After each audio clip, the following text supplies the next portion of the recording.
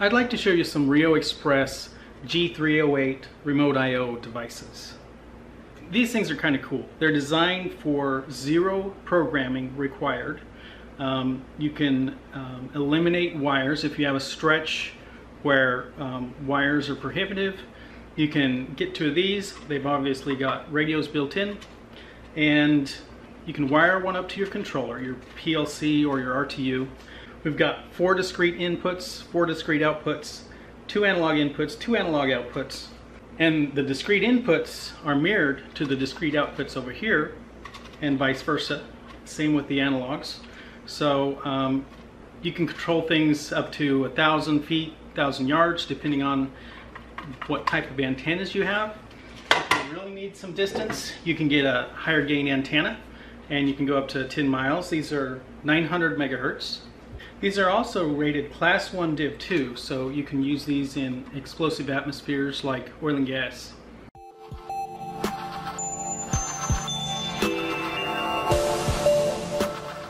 These devices intentionally are really easy to set up with zero programming. All you have to do is make sure your pair of devices are on the same address. So um, this is the sum of values. So if we turned on 1 and 2, our address would be 3. We just have to duplicate that over here. And then one needs to be a master and one needs to be a slave. So I'm going to turn this one on to be a master. And that's really all you have to do to get them to work together. So let's go ahead and power these guys up.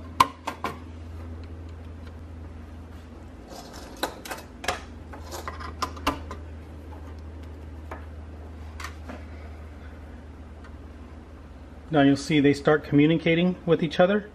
They're going really fast. If uh, you want to save a little bit of battery, you can change the poll rate a little bit. So now it's just going every second. Um, you can read the instructions for more details on poll rate. Essentially the master just polls the slave and the slave responds. I've got some switches and analogs so we can do some real testing here.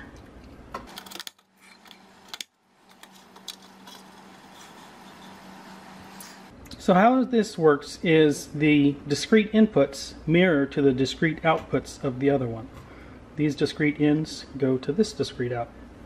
So if I start turning on these inputs, you'll see they come on over here. And then the same over here, if we turn on input over here, turns on over here. So you can see how this is an easy, no programming way to do remote I.O. Um, essentially wire replacement. Your RTU can wire into one, and then over here your in devices can uh, wire into the other one. Let's go ahead and look at the analogs real quick. So I'm going to go ahead and start turning this potentiometer. So the, the analog input is getting more voltage over here.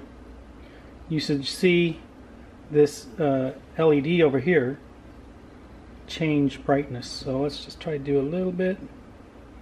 There's a whole lot. I can also turn this guy over here. See our LED over there gets brighter and brighter as we turn this one over here. So there's another way to use the G308 and that is to just put it into a slave mode, Modbus slave, and you can get a master radio. This is a G306 master radio. And you can connect to this radio and pull up to 64 uh, 308s that are within, you know, wireless range of each other.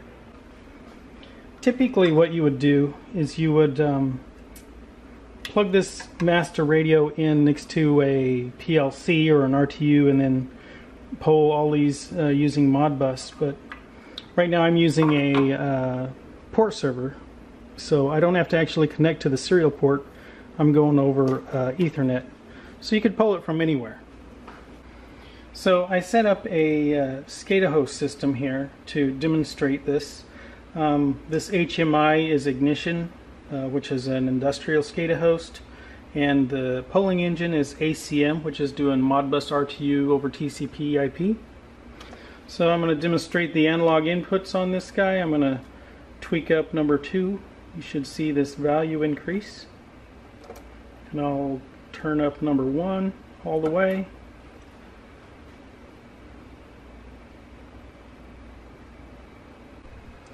And on this one I'll demonstrate turning on the discrete inputs.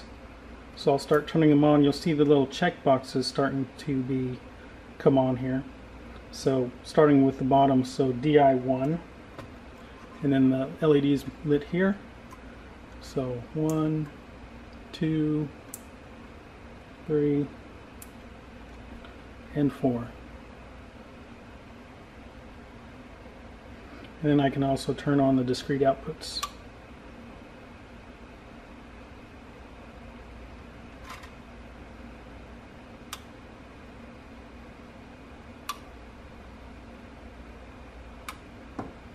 Looking at the documentation, you can do a few more things as well if you're um, polling using Modbus. So um, you can read the power supply voltage or, you know, if you're on battery power, that could be important.